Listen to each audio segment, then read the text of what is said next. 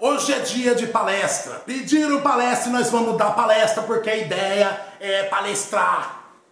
Vem comigo! Cerveja para nós!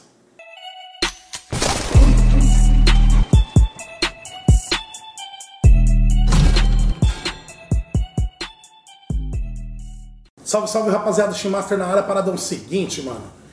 Vi desenrolar umas ideias aqui com vocês, tá ligado? É o seguinte, mano. Às vezes a gente lança uma ideia, tem pessoas que que quer debater, mas não, não, não, não tem o mínimo senso de, de perceber o que a gente fala. E mesmo assim a gente continua falando porque a gente não se cala. A parada é essa. A parada é o seguinte, mano. O que eu queria falar é uma palestra. Se você não curte palestra, vaza. Vai, pica a mula, vai caçar o que fazer, vai plantar umas árvores para melhorar o ambiente aí e já era. A gente estava trocando uma ideia e, e a gente traz ideia do Clube Cerveja para nós, onde tem bastante gente, e a gente vê coisas por aí. Uma vez a Cebola fazendo uma abraçagem ao vivo, aí um brother comentou sobre é, o, a atuação da levedura Lager. Aí o Cebola pegou e falou, pô, eu não sabia dessa. E eu até brinquei com ele, eu falei, você não sabia porque você não é um cara assíduo. Você participa do Clube Cerveja para Nós, mas você não é assíduo lá, não fica lá no, no bang lá debatendo. Então por isso que você não sabe. Aí o Cebola falou assim, pô, um bom tema para ser abordado porque ele e várias pessoas tinham dúvida. Assim como pessoas no clube também têm. Então a gente vai falar de uma coisa que, assim, pra gente que faz cerveja em casa, é, não faz muita diferença. Ou na verdade faz, mas a gente não percebe porque a gente não tem análise das coisas. A gente, a gente faz o que a gente viu na literatura, então a gente tende a copiar ou copiar o que o outro fez. É normal. Então, por exemplo, se você não quer, você não quer entender, o problema é seu, sai fora.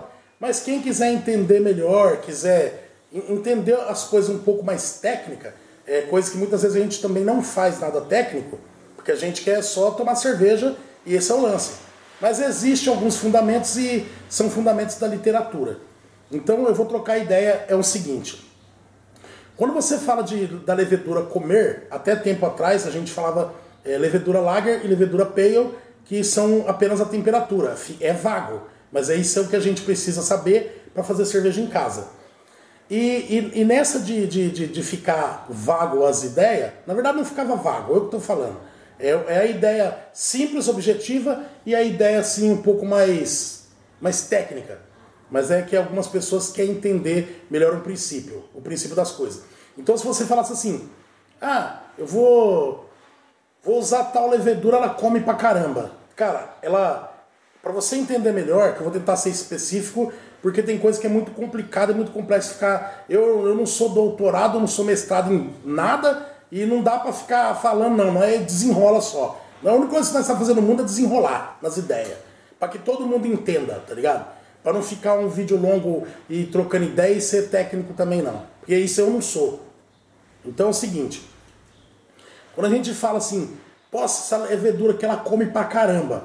Eu quero que você entenda, porque eu vou simplificar aqui o modus operandi. Quando a gente fala que ela come pra caramba, a gente quer dizer, a gente quer dizer que ela come quantidade. Entendeu? Então, assim, se você põe lá, ela come quantidade, ela come, come rápido, mas nem todas comem açúcar complexo. Então, para você entender, a gente vai falar um pouco da bioquímica da cerveja. Só para você ficar ativo nas ideias. E eu espero que todo mundo entenda, é, mesmo sendo embaçado falar, eu vou falar. E é o seguinte: é, os açúcares que é extraído do malte, ele contribui é, para o doçor e o sabor da cerveja. Isso aí a gente sabe que é coisa básica. Só que daí, ah, o que acontece? É, no, no, no, no, malte ali, quando está fazendo a abraçagem, é, é, você dá condição, você, é uma, você dá fonte de alimento e nutrientes para a levedura, que vai ser o, precursor que vai fazer com que o álcool da cerveja gere. Isso aí é fato. Então, assim, é, temos muita, muito falatório sobre rampas, isso aí eu não vou entrar em, em ideia. Se você quiser saber melhor, entra, se, se, for o seu caso, e quiser estudar melhor, você entra, procura e estuda bastante aí, para você virar o as da experiência, coisa que eu acho que não, nem todo mundo quer virar o as, que é apenas fazer cerveja. Então, para você entender, existe a, quando você faz lá a sua abraçagem, existe a combinação da glicose e a frutose. Então, conforme você está abraçando lá, você começa a quebrar esses açúcar. Então, a, a combinação do, da, da, da glicose da frutose forma os açúcar mais complexo, que é muito mais difícil de ser quebrado. Só para você entender. Então, a glicose, se você pega lá, são, vamos brincar que seja partículas, porque são coisas que a gente não vê, tá ligado? A gente fala tecnicamente, mas a gente não vê, tá ali, a gente não vê. Então, para você entender, a glicose, no caso, ela tem a alopectina, amilose e, e, tem o amido. Então ele começa a ser quebrado, quebrado, quebrado, e, e durante o processo de produção da cerveja, é, ele está sendo quebrado desde ali do, da hora da mostura, e eu falo assim, de forma geral, ele está sendo quebrado ali na mostura, depois ele continua sendo quebrado até na fervura. Então, meu, é, são açúcares complexos de verdade. Então ele começa sendo quebrado ali desde a hora da mostura, a hora que partiu para a fervura, até acabar lá, o chicote está estralando. Portanto, a milopectina e o amido, eles permanecem no mosto de uma forma que quando você invasa lá, você terminou a cerveja, você vai mandar para o invase e ele está lá. Os bagulho tá envolvido. Só que muitas vezes sem quebrar. Não existe essa quebra dele. E para poder fazer onde nós vamos chegar na ideia, tá ligado? Então, junto com a amilose que não foi quebrada, você tem a maltose, maltotriose, glicose. Aí qual que é a jogada? É, ali são temperaturas diferentes e tempo de permanência para ela poder estar tá sendo quebrada. Então são os açúcar complexo lá da glicose. E temos também a frutose. No caso, a frutose tem a sacarose e a rafinose. Já a rafinose é a parte complexa do açúcar da frutose. E no caso da rafinose, é ela que forma a diferenciação entre a cerveja ser lager ou ser ale, sacou? Então é questão de comer esse, esse açúcar complexo para você entender qual que é a diferença dos dois.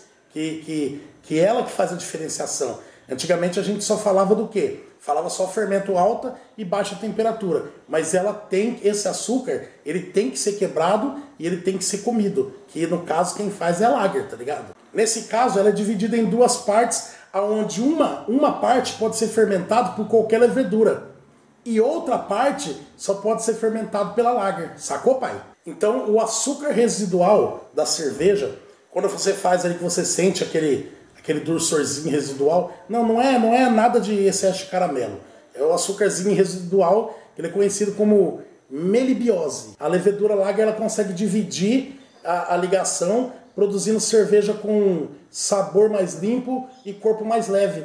Então, é, somente ela consegue fazer a quebra, é, coisa que as outras não conseguem fazer. Então, assim, é, é meio complexo, mas assim, quem quiser se aprofundar, eu aconselho estar tá pegando livros, até na internet, procurar um pouco para você entender. Porque assim, é meio embaçado ficar passando, porque é, é, muita informação que eu acho que as pessoas não pegam, assim. Porque nas antigas eu lia, são coisas que eu acabei lendo, tendo que ler várias vezes para poder entender melhor. Porque só, só falando assim eu acho que não, não seria legal. É, fica muito. Você ouve e depois acaba esquecendo. Mas quem quiser se aprofundar melhor, eu aconselho procurar é, procura sobre a bioquímica da cerveja. Aí você consegue entender melhor, beleza? Então esse vídeo é um vídeo rápido, só para você entender qual a pegada, que o Cebola tinha falado aí, que a rapaziada também tem dúvida, e a diferenciação de lager e ale. Então não é somente porque é baixo ou alta que, que ela assim já teve essa definição dela ser temperatura de fermentação alta ou baixa, mas também uma definição mais técnica é que eu falei, a melibiose sendo quebrada pela levedura lager, então ela pode ser chamada de lager porque ela gera um sabor mais limpo e uma cerveja com menos corpo, que é aquela verdadeira drinkability que a gente está acostumado, que a gente costuma ver em cerveja leve. Mas, lógico, você consegue fazer outra cerveja muito leve com fermentação lager, mas eu estou falando do dorsor residual, que você pega muitas vezes em cervejas populares puro malte, tá ligado? Que embora tenha um residualzinho, ele não te deixa enjoar quando você está tomando bastante. Beleza? Tamo junto, espero ter contribuído. É, a palestra é assim mesmo. A gente faz uns cortes porque de vez em quando dá até uma enroscada uma engasgada, mas o bagulho é doido. E o intuito aqui é que você tenha entendido. E ninguém aqui é professor para ficar, estudou em Harvard para ficar dando aula, não. Eu só quero sanar um pouco as ideias da rapaziada aí, porque tem coisa que a gente não se aplica no dia a dia. É muito complicado. Mas assim, para você entender da onde veio a história de rampas. Rampas, rampas, rampas, que antiga, hoje a gente não faz. A gente caseiro, a gente não está preocupado.